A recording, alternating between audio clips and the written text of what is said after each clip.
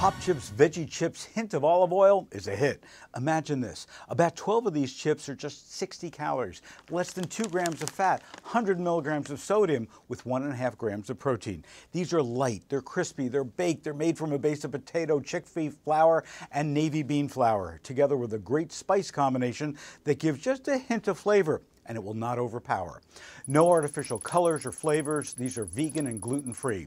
Now, the pop chip concept has evolved from its early days where the texture and taste were a bit bland and boring.